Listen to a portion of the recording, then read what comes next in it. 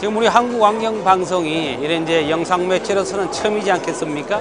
그래서 저는 이 부분에 대해서 굉장히 큰 기대를 많이 하고 있습니다. 지금 시대적으로 많이 이 변화되는 정부와 이 시대에 지금 어제 어, 대전에 대한 이 부분이 바로 영상으로 오늘 이 자리에서 영상화돼서 홍보가 되듯이 이 오늘날의 이 영상 매체가 저는 우리 안경 산업에도 큰 일조하리라고 보고 특히 처음으로 이제 탄생된 우리 한국 안경 방송이 거기에 중추적 역할을 하리라고 보고 또한 기대가 상당히 큽니다. 예, 많은 발전을 기원하겠습니다.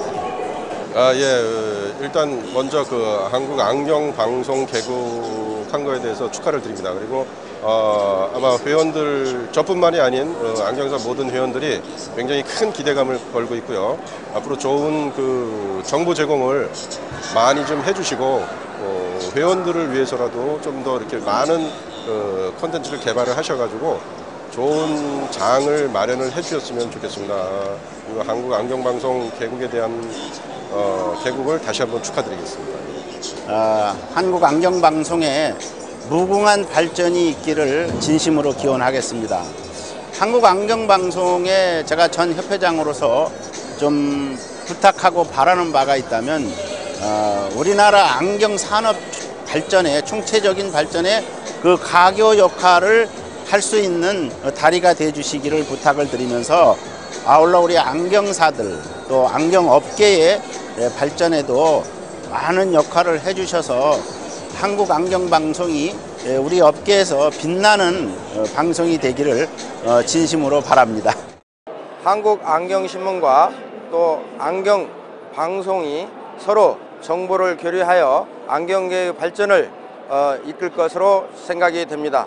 아무쪼록 그 업계의 발전을 위해서 안경 방송이 더욱더 노력해 주시리라 믿습니다. 아, 아무쪼록 그 안경 방송의 출범을 진심으로 축하드립니다. 한국 안경 방송 화이팅! 국내 렌즈가 그동안 대한민국의 그 제조 기술은 세계적으로 인정을 받고 있습니다. 예, 근데 많은 제조 공장이 해외로 제조 공부가 안 맞아가지고 해외로 넘어갔는데 지금 그런 렌즈가 들어와가지고 외국 브랜드로 고가에 팔리고 있거든요. 우리 국내 렌즈는 상대적으로 질이 좋으면서 쓸만한 렌즈, 국산 렌즈로 팔리고 있는 게 현실입니다. 안경 방송이 생기름으로써 이런 것을 올바르게 홍보하고 할 때 또 우리 국내 제조업체나 유통업체도 이제는 남의 탓만 할 게 아니라 우리 브랜드를 하나 제대로 키워가지고 소비자한테 인식을 시켜가지고 제값을 받을 수 있는 이런 아, 렌즈 산 앞으로 렌즈 산업이 될 걸 확신하지만 거기에 한국 안경 방송이 많은 지원과 협조와 홍보를 해줄 걸 기대합니다. 감사합니다. 안경 방송의 무궁한 발전을 기원합니다. 안경 방송 화이팅!